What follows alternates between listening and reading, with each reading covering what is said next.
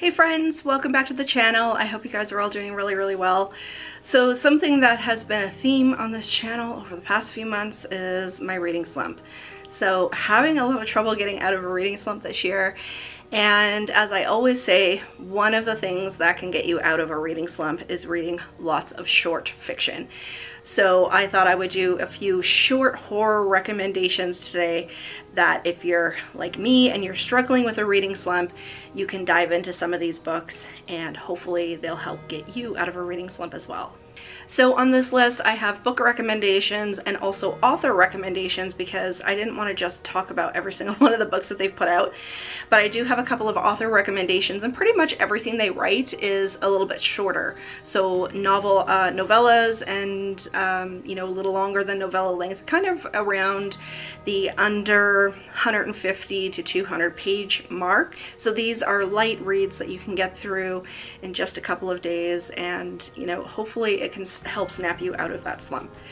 So the first recommendation that I have is actually a beloved book that I read pretty much every year, and that is The Melancholy Death of Oyster Boy and Other Stories uh, by Tim Burton. So this is Tim Burton as in Corpse Bride and Nightmare Before Christmas.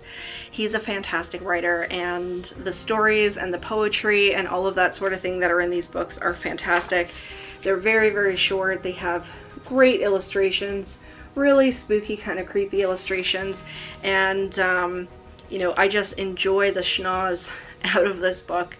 And a lot of the stories have deeper meaning as well. So really short. You could sit down and read this, you know, just in an afternoon, have a good time with it, get the deeper meanings in the stories, enjoy some creepy artwork, and yeah, I, would recommend everyone picking this one up. Like I said, it's a reread for me every year. I usually kick off my sort of Halloween season with this book every single year. And next up is a book that I've talked about numerous times on this channel, and that is Autumn Crow by Cameron Chaney. I actually think that I should get a new copy of this book because this one is not, not in the best condition anymore.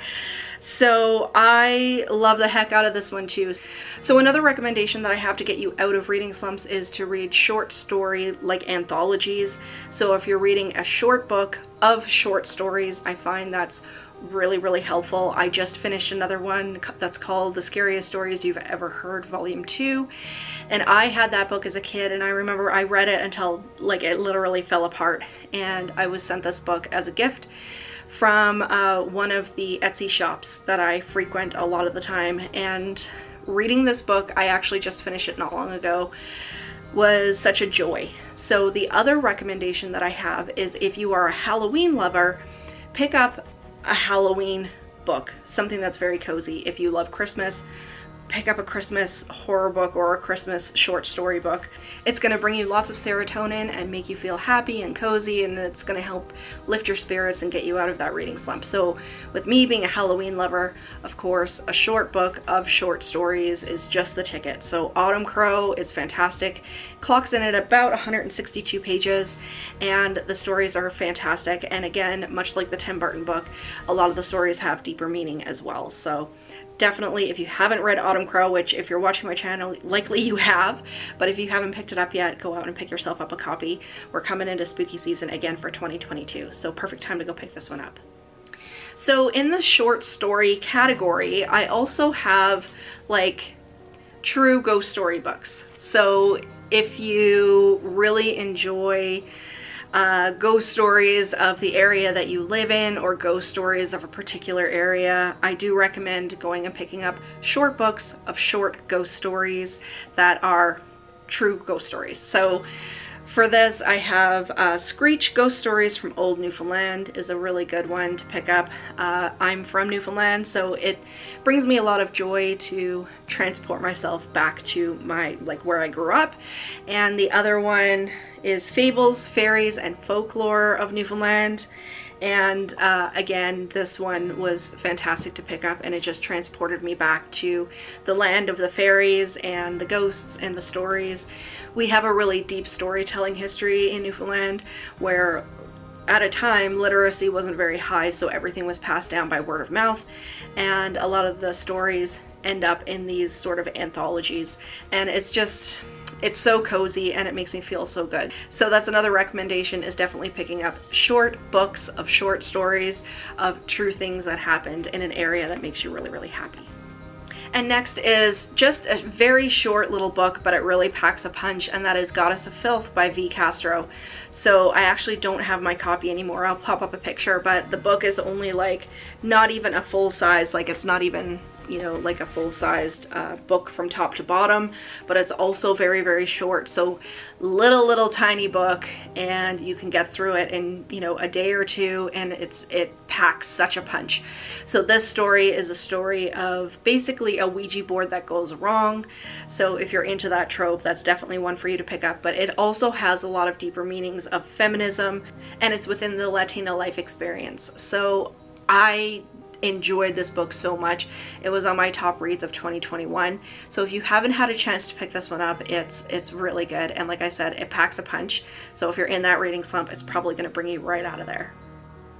And next up is another really cozy uh, Halloween sort of story, and that is Candy Coated Murder. And this is book one uh, that's part of a larger series. I didn't go on to read the rest of the series because I found that the book um, even though I enjoyed it and it was super cozy and it was super short, um, it, you know, I might pick up one down the road, but it just wasn't something that I wanted to immediately pick up the next book. But having said that, if you enjoy movies like The Good Witch, where it takes place in this little tiny town and it's super cozy and everybody knows each other and the whole thing. This is definitely one for you. So this revolves around a town that Halloween is like their thing. It's very much a tourist area. It's a small town. Everybody knows everybody. It has all of the cozy feels, but it revolves around a murder mystery.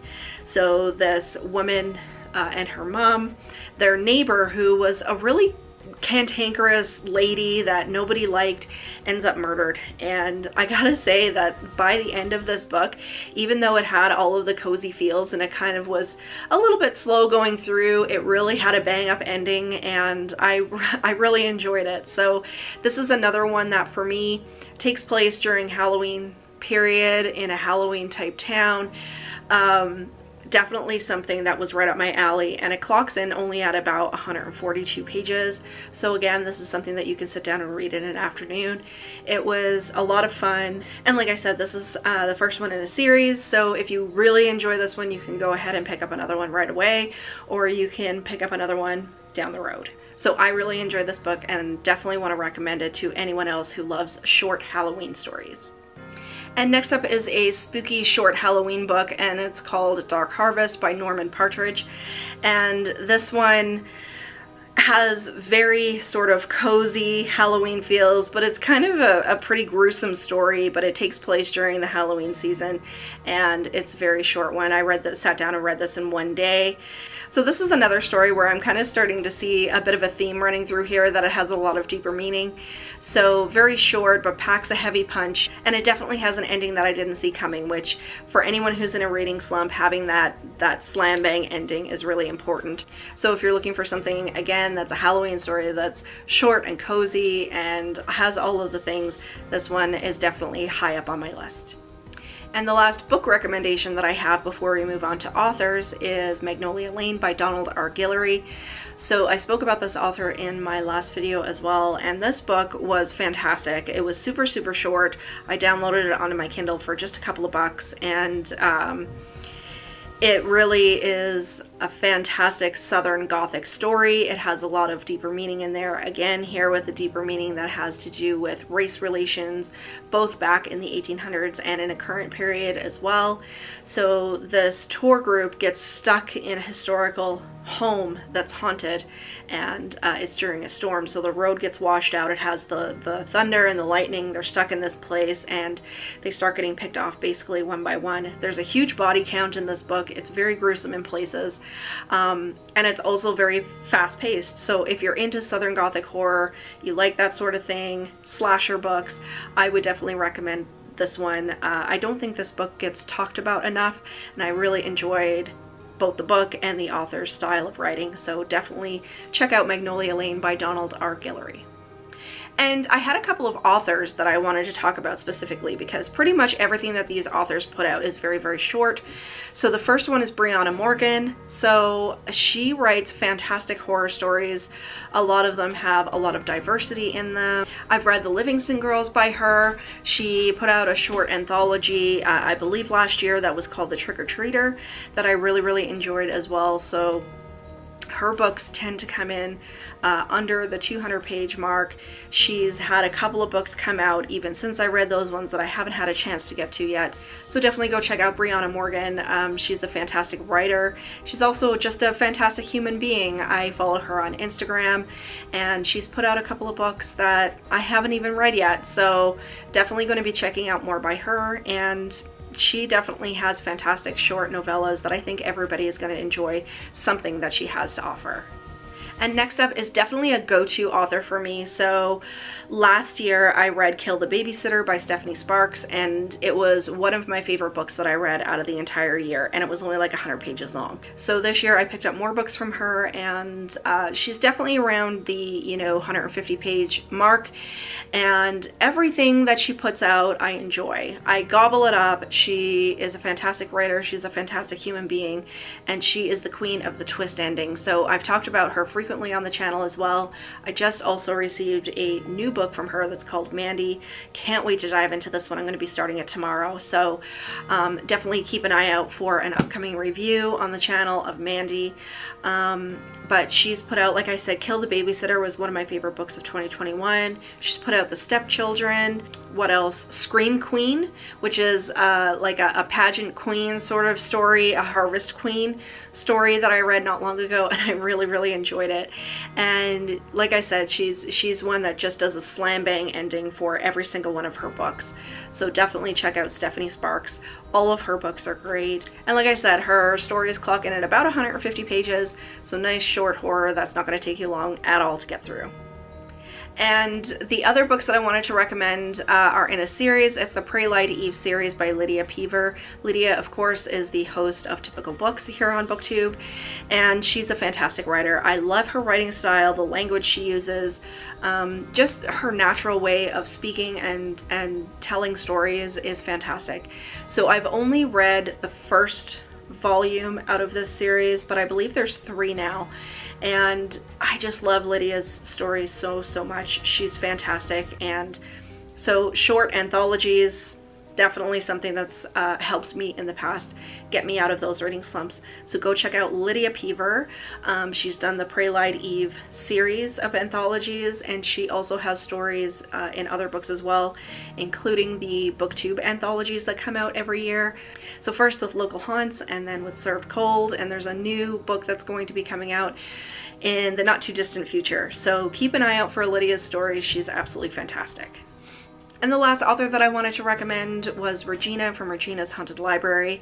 So she puts out a lot of short fiction and it, it just spans such a wide variety of stories. She does a lot of uh, sort of horror romance. She also does short story anthologies and her goal this year in 2022 is to release a novella every single month out of the year. So she has a wide range of stories and lengths and everything that you can read and I've just recently started picking up her work and I'm really enjoying it.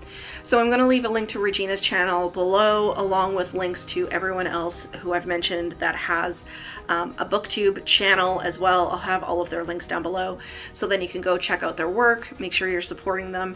So that's it. So that was a pretty extensive list of things that I've read semi-recently that have helped get me out of reading slumps um, or have helped me get my reading done even while I'm still in a reading slump. So reading shorter books or like I said, shorter anthologies, shorter ghost stories, uh, books that are based during periods of the year that you really love. If you really love summer, then you can try summer horror or in this case, I've given a lot of recommendation for short Halloween horror. So I hope you found something on this list that will appeal to you and will help you out of a reading slump hopefully none of you guys are experiencing a bad one right now because I know I am. I know I've talked about this extensively on this channel this year. So if you guys are, are struggling with a reading slump, let me know down in the comments. Do you enjoy short horror? Do you find it helps you uh, get your reading done when you're not really in the mood? And also you can uh, hit me up with other questions or comments. Make sure you give me a thumbs up and click the subscribe button and the bell for notification. But until next time, stay spooky everybody. Bye.